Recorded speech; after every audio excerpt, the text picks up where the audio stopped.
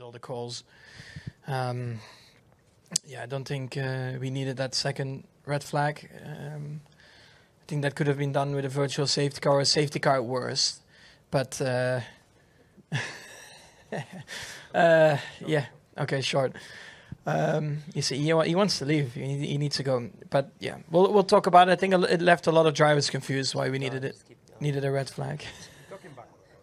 okay, we'll talk in Baku.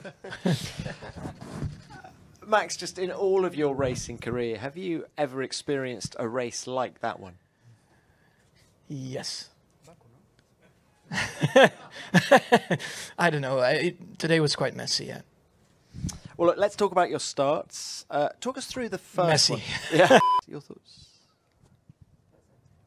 Same.